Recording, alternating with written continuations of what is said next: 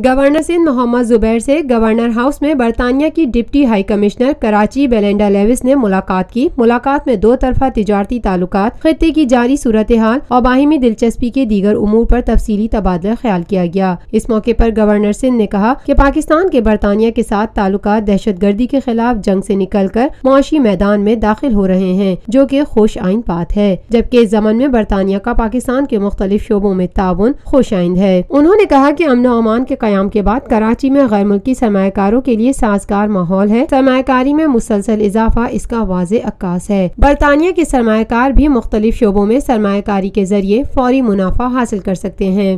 Lotus Lake Towers a groundbreaking endeavor by Lotus Properties.